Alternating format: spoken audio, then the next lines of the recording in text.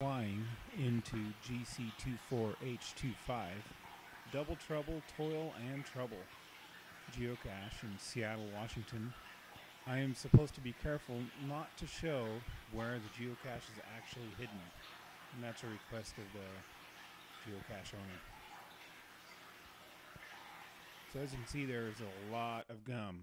It's been here for years. People have been sticking their chewy stuff all over this wall.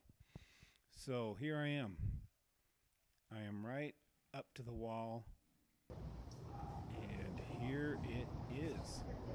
So yeah, that's Double Trouble, Toil and Trouble. It's got hundreds of favorite points. It's the most favorited in Seattle, Washington.